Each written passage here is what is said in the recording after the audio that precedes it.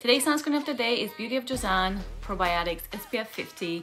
This is a chemical SPF. I'm gonna put it on my hands like this and just literally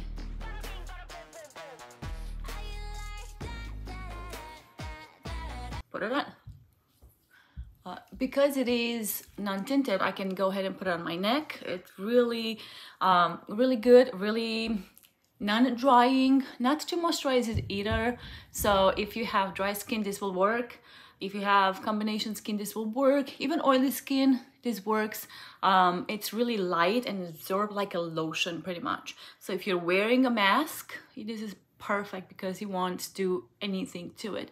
Now remember to put it around your eyes. Uh, it really soaks in. It really just acts like a lotion. If you want to put makeup on, you can go ahead. It acts really nice with makeup. It's kind of like non-existent. So it's, it's like you have skincare on and that's it.